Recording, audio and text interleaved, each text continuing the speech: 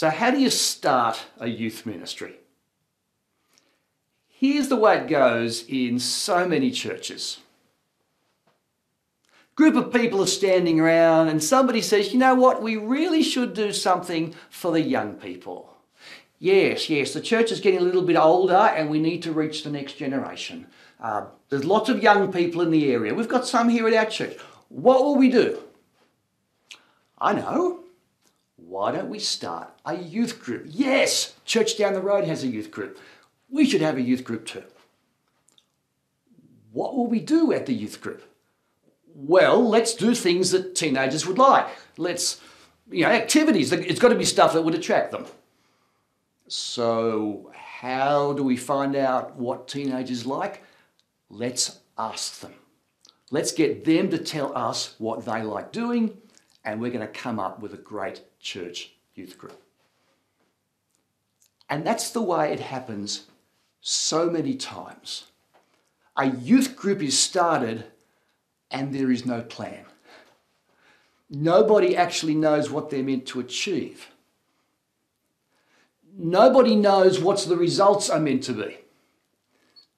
Like when you get to the end of the year and you look back and you try to think, like, are we getting there? Are we achieving what we set out to achieve? If you haven't got a plan in place, then you have no idea what it is that you're looking for. And one of the biggest dangers of launching a youth program is you get a great idea, you run with the needs, and before you know it, you've got a program that never had a plan. Because does it, does it make sense? If, if you haven't got a plan, you're not going to achieve anything. But let's go one step further. If you've only got a human plan, you'll only end up with a human result. Can I chart for you the way it tends to go? And I want to suggest there's sort of two ways that you can start to have a youth program at your church. Let me draw a few things uh, up here on the board and you'll see how it works. You've got to have a starting point. And so often it goes like this What do the youth want?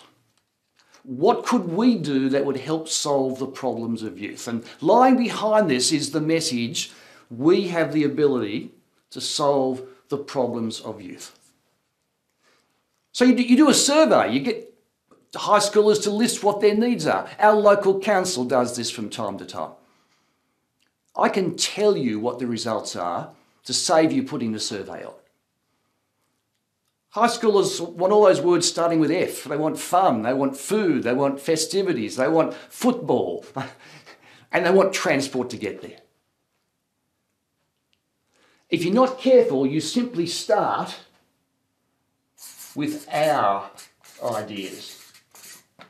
We have a great plan, we have the answers, we can do something for youth. Now, let me tell you what that will lead to because you're going to try and find out everybody's needs. What do they want? Well, you've got to look at the needs of, of the high schoolers. That they, they want activities, they want fun, they want something that, you know, they'd really feel cool at. And so you've got to keep the activities coming, you keep it outrageous, you keep the outings, you've got to make it attractive so they keep coming. But they're not the only people with needs. You've got parents, and they've got some needs. They, they want somewhere nice and safe for little Johnny to have wholesome fun. And so it's got to be safe. You've got to sort of tone it down a bit so that the parents have confidence uh, in you. But there's other people with needs. The, the pastor of the church has needs. He wants to have young people in church and for them to sit quietly uh, when he preaches. And you've got parish councillors or elders or deacons or somebody like that that need to fill in statistical reports and they want to put in that the numbers are growing. And of course, you've got your own needs as a youth leader.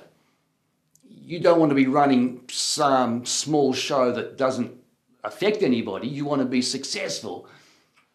And what you end up with is simply meeting all those needs of all those people. I'll tell you where that leads you to. It leads you to um, a goal your goal actually becomes to keep, keep everybody happy. That you've got to make it outrageous enough so the kids keep coming. You've got to make it safe enough so that the parents are happy. You've got to make it spiritual enough so that the minister is happy. And you've got to make it successful enough so that you feel like you're on a, on a winning show and you're doing something good. That means your program is going to end up simply trying to meet needs. Trying to make sure that everybody is happy. And if you're not careful, you will just race around and kill yourself.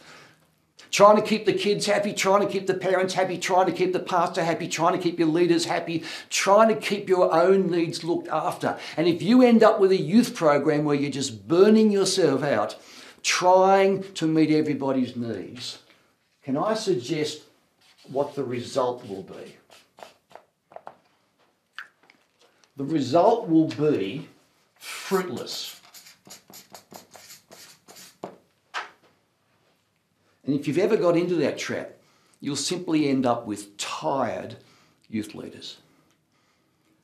You'll end up with discouraged youth leaders. And can I suggest you'll end up with unfaithful youth leaders? Because if you're running yourself into the ground trying to keep everybody happy, you'll just want to feel good for a moment to escape it. And the evil one will put a suggestion in your mind as to how you can take a shortcut to feeling good. Can I suggest another way to start and run a youth ministry. This wasn't, one doesn't start with our ideas, it starts with God's ideas.